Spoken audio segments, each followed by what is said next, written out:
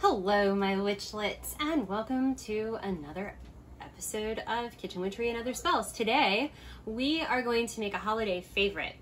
And normally, it's reserved more for the Yule celebration and such, so I know we're hitting this early, but that's because I've seen it in stores already, and uh, you just need to have your own, your own way of making it for yourself at home. We are going to make eggnog. And I'm going to tell you right now that the recipe that I'm using is a low carb recipe. Notice I said low carb, not low cal. Um, that would be impossible. So what we're going to do here is there's two different ways that you can make this. Um, I have this set up to give to a friend of mine who very much loves eggnog. Um, this will last for three days in the refrigerator. I suspect it won't make it to her refrigerator. So um, she'll just. This is not spiked eggnog. Okay, this is just eggnog. You can add booze to it if you want to. If you do, drink responsibly. I am not responsible for your life's choices. So what we're gonna do is it calls for two cups of unsweetened almond milk. So we're gonna start with that. Um, you will need five egg yolks, just the yolks, um, a half teaspoon of cinnamon, a full teaspoon of nutmeg, and then you are going to need a cup of either heavy whipping cream or coconut milk. And you will need a cup of your sweetener of choice. Since this is designed to be a keto recipe, I would use something like this here is a Truvia blend that is made with cane sugar and erythritol and uh, stevia. So um, I wouldn't use anything, I wouldn't use like straight cane sugar though, because the other sweeteners tend to be sweeter than sugar and um, you would probably end up needing way more sugar to make it as sweet as what this is going to be. Uh, when I make it for myself, I'm just going to use Swerve because I like Swerve. Um, it's just, this is expensive. I can only get it in one store in my area and I go through it really fast. So that said, this is what we're gonna do. We're gonna go ahead and get started because obviously we have to mix things on the stove because that's how this works. This is gonna be more like a custardy kind of a of an eggnog, so it'll be nice, thick and creamy. And um, to do that, you will need to temper eggs. I'm not fancy. I don't usually temper my eggs, so you get to watch me show you how to temper eggs.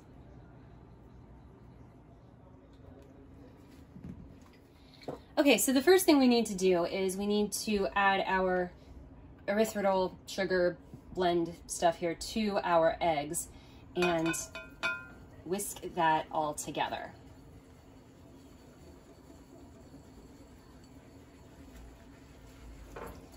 My batter bowl keeps moving around here.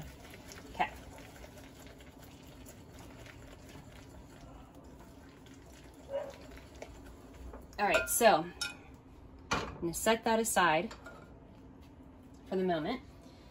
Now what I'm gonna do is I am going to turn this burner on high. And to this, I'm going to add my almond milk.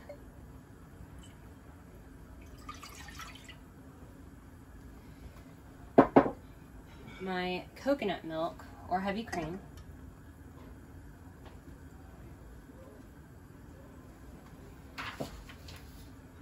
And my spices.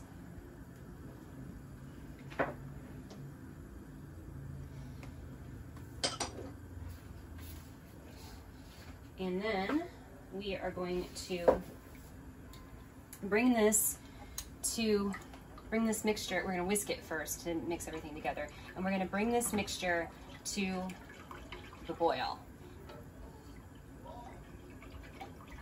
Which will take a little bit of time because it's very cold.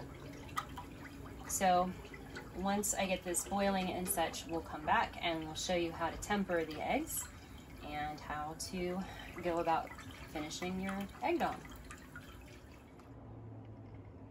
Oh, okay. It must be dark.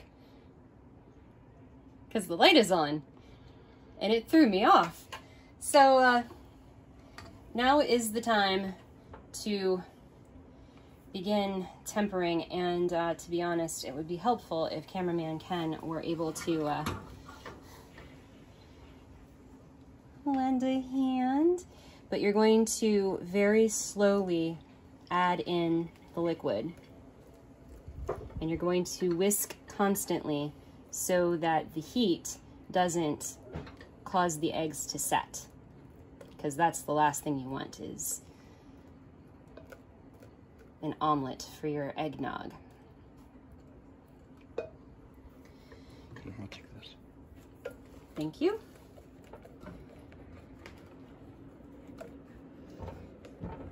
Look at those beautiful hands. Aren't they Yeah. great? Okay, I'm gonna start adding more. Please. It's the only way this gets done.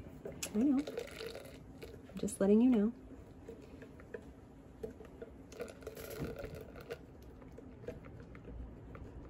So you're supposed to add approximately half of your almond and um, cream or coconut mixture to your eggs and you whisk constantly, like I said.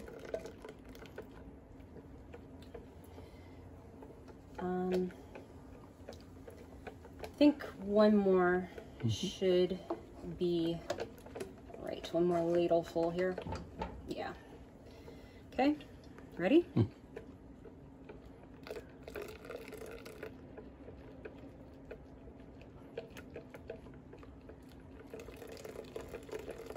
Teamwork.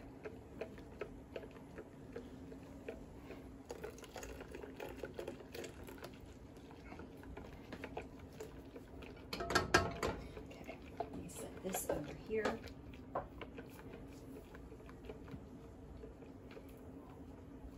Okay, so this goes back on heat.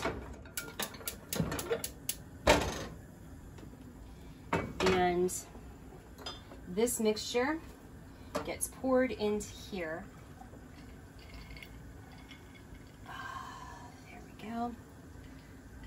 And uh, this gets whisked vigor vigorously for six to eight minutes until the um, mixture reaches 160 degrees Fahrenheit. So we'll come back in a few minutes to show you the outcome of this particular thing. And there's one more ingredient that we have to add, but we'll do that in a moment. Okay, so we've got everything here mixed together. I didn't grab my vanilla extract, but um,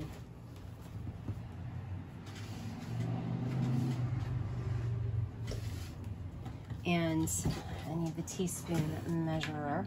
Alrighty, so the first thing we're gonna do is we're gonna strain this into, back into this, um, because with the magic of film,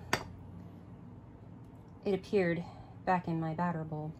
So you're just, you're not straining it for any reason other than to make sure you got all the egg bits out and it's gonna remove the large chunks of um, spice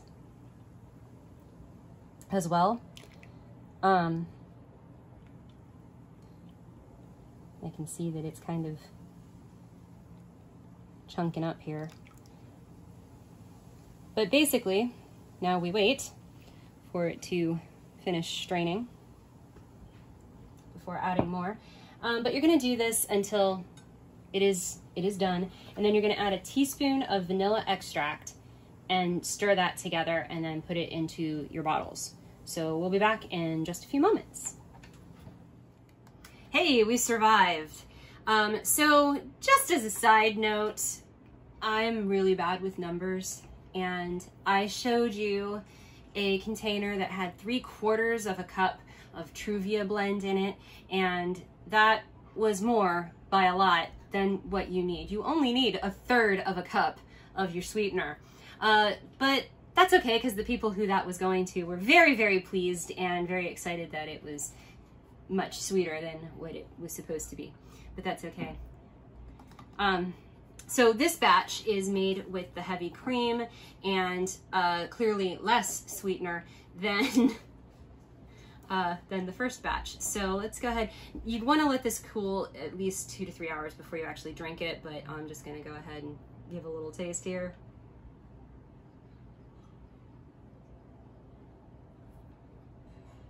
That is definitely rich and creamy. It's very, very good. Um, I think I might actually prefer eggnog warm. That's like the first time I've actually really enjoyed it. So uh, add three quarters of a cup of bourbon, whiskey, spiced rum, your alcohol of flavor choice, whatever, um, if you would like, to your eggnog, to this entire batch of eggnog. This will last three days in the refrigerator. Um, if you particularly like eggnog, it may not last you a night. So um, that's pretty much it. I hope you like what you saw. If you did, go ahead and hit the thumbs up button. If you didn't, smash the dislike button. Leave me a comment either way. I would love to hear from you. And while you're at it, go ahead and check out my Patreon, www.patreon.com slash KWOS, where there will be some other fun videos that involve alcohol for your viewing pleasure. We'll see you next time.